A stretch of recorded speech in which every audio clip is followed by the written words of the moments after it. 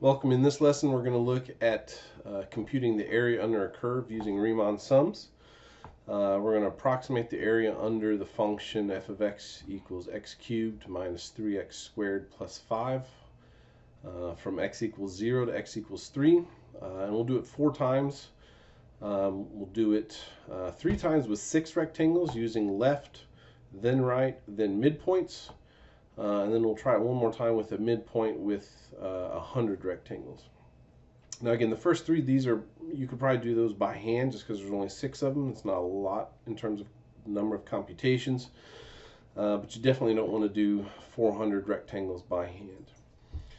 Um, so as we set this up in Excel, um, again, we're trying to find the area uh, underneath our curve.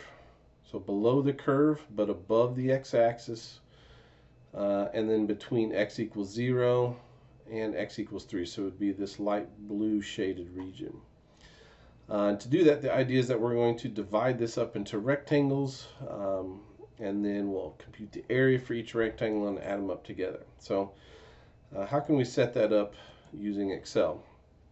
So the first things we need in Excel uh, is we need to know where our interval begins and where the interval ends. So we'll just call those uh, values A and B.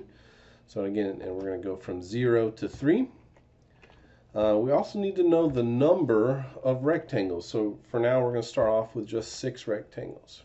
Okay, so we're going from 0 to 3 with six rectangles. Uh, and then we also need to look at computing the width of each rectangle. Uh, usually we call that delta x. Um, just for now, I'll call that or type in dx. Uh, we saw earlier that the formula for computing the width of the rectangles was b minus a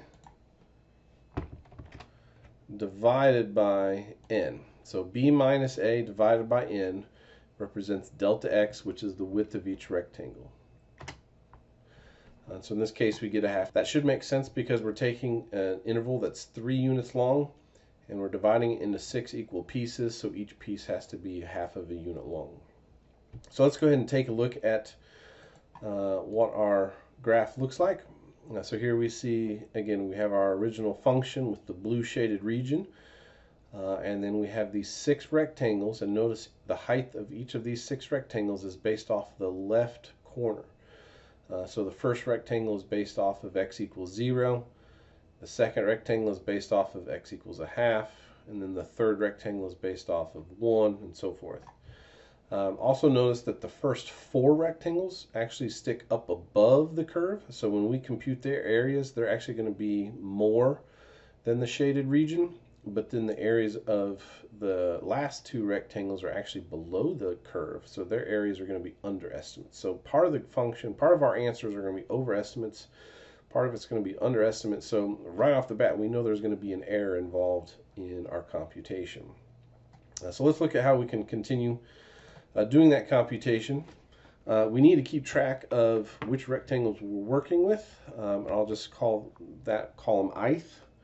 Uh, the TH is kind of as you read through numbers, you have the first, second, third, fourth, and then the fifth and sixth. So the I is just telling us which rectangle we're talking about. So we have one, two, and then we're going to go all the way down to six rectangles.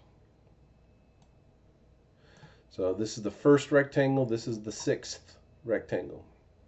For each of those rectangles, we need to compute its x value. So what's the the endpoint. What side of the rectangle are we using? So again, the x coordinate for each of the ith rectangles. So the x coordinate, we also need to know the function value for each of those x values. And then we need to finally compute the area for each rectangle. So that's where the i comes in. So the area, so this will be the area of the first rectangle.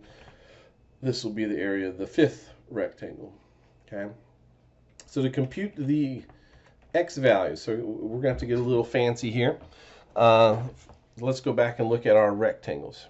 So where's the first rectangle begin? It begins on the left side, which is 0. Well, that turns out to be the same thing as our starting point of our interval.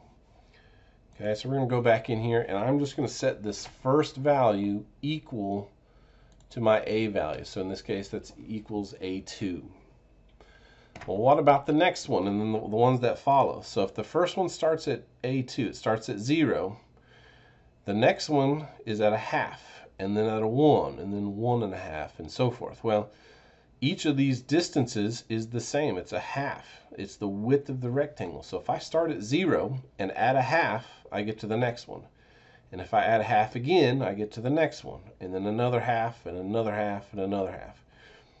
So going back to our formula, if I take the previous answer that I had, which right now is just the 0, and I add to that a half, and I could just type in 0.5, uh, and I could even do the x column just with raw numbers, but I want to do this by formula because that'll it's going to be important later.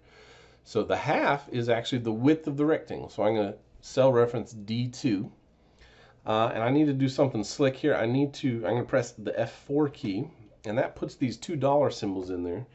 And what that does is it anchors the cell reference. So I'm about to copy my formula down, and when I do that, the F2 reference will come down with me, but the D2 reference will stay at D2. It will not move down as I come down.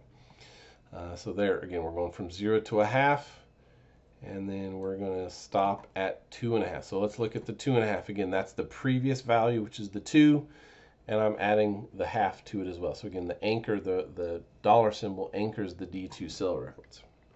Now, why does it stop at two and a half? Why doesn't it go till three? Again, going back to the graph, our graph, the, the interval ends at 3, but 3 is not, there's no rectangle whose left side is the 3. Okay, it's a right side, but it's not, the last rectangle goes from 2.5 to 3, and I'm only worried about its left endpoint, so I only have to go up to the 2.5. Okay, so then we need to enter our function in here, uh, and it was x cubed minus 3 times x squared plus 5. We don't do anything fancy there and just copy it down. Uh, the area. Okay, so how do we compute area of a rectangle? The area of a rectangle is the width times the height. Well, the width is the width of the rectangle. It's our delta x, our dx. And the height of each rectangle is based off of its function value. So I can take uh, the width times the function value. Now again, we have to be careful here. If I were to just drag this formula down, uh, notice that it's going to mess up on me. Uh, why are these all these zeros? If I click this last one, it's using my function value times D7, but there's nothing in D7, so I have to do that anchor again. So if we go back up in here, I need to change um, my cell reference for D2 I need to anchor. So press the F4 key or just type in the dollar symbols if you want.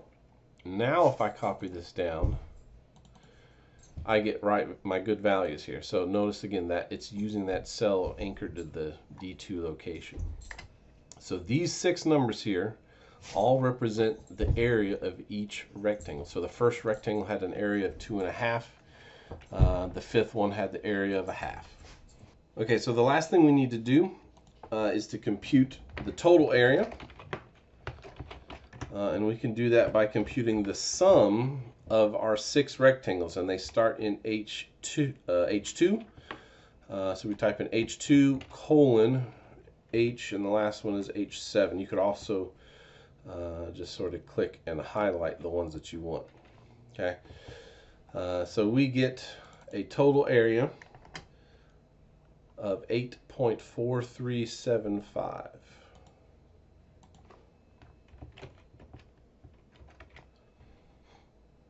Okay, so that represents the total area of these six rectangles, not necessarily the area of the blue region, but just the rectangles. And hopefully it's kind of close to what the blue region would be. Okay, so let's try this using a right rectangle. So uh, if we did right rectangles, um, we're still going from 0 to 3. We're still doing 6 rectangles. They're still going to be evenly spaced apart at a half of a unit. Uh, so the 3, the 6, the 0, the 3, the 6, the half, that all stays the same. 1 to the 6 stays the same. Uh, however, our starting x coordinate has to change. Okay, originally we said it was equal to a2. because that was where our interval started. But we're not going to start there. We can now start at adding the starting value plus the width of our rectangle. So A2 plus D2. So that's going to change our value to a half. And notice as that changed, everything else in our table changed. Okay, our x values go from 0.5 to 3. So let's go back to our graph and look at why that's the case. So if we have this, if we have rectangles based off of the right endpoint, the first rectangle doesn't start. Its right endpoint is at 0.5. The last rectangle, its right edge is at the 3. So we're going to go from 0.5 to 3. And again, the easiest way to get that is you start at the left edge of your graph, of your, of your interval, and you add in the width of one rectangle. And so we go from 0 and we add a half to that and we get 0.5. Everything else uh, automatically updated. So I don't need to change the function. I don't need to change the area. I don't even need to change the total area command, which is kind of weird because it turns out to be the same value. Uh, so 8.4375. All right, so let's see if that works, if, if we get the same thing for the midpoint. So if the midpoint, we want to actually start here at 0.25, because uh, that's halfway between 0 and 0.5. Uh, we could just type in 0.5 or 0.25 and that would work, but I, I want to tweak this because uh, we're going to change it to 100 rectangles in a minute and all this changes. So instead of going just typing in a 0.25, let's start at the 0 and add in half of the width. So 0 plus a quarter would put us where we need to be. So we're going to take, go back to my x value, we're going to start at the 0 plus, not the width, but instead half of the width. So if we add in half of the width, again, notice everything updated. We're now going from 0.25 to 0.75. Okay, and we got a new area. So everything updated. I didn't need to change anything except for that one cell. And that's all I had to change for the right rectangle. Uh, and in this case, we get 8.15625.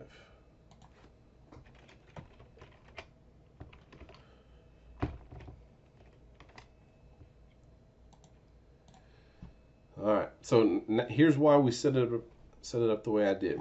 We now want to do midpoints with 100 rectangles. So if we're going to do 100 rectangles, the start and the end point don't matter. The 0 to 3 doesn't change. But the number of rectangles does. It's no longer 0. I need to type in 100. And notice when I hit enter, everything else is going to update.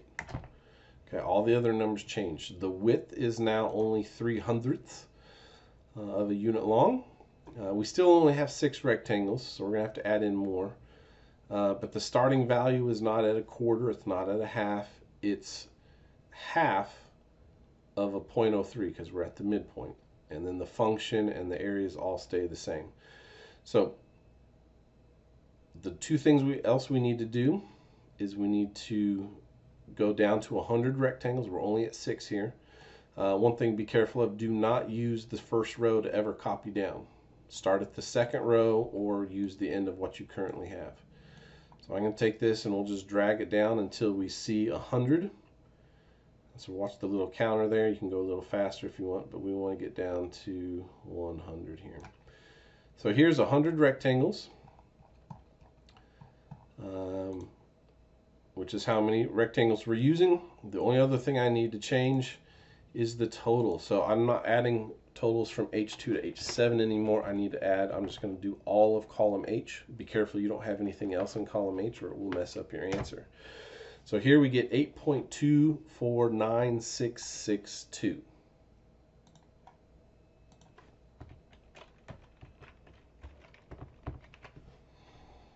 Okay, so again, that's not the same as what we got for the left and the midpoints. Um, it's not even the same as what we had with the midpoints for six rectangles, but um, it's kind of hard to know what is the correct answer. Hopefully this 100 rectangles gives us a better approximation.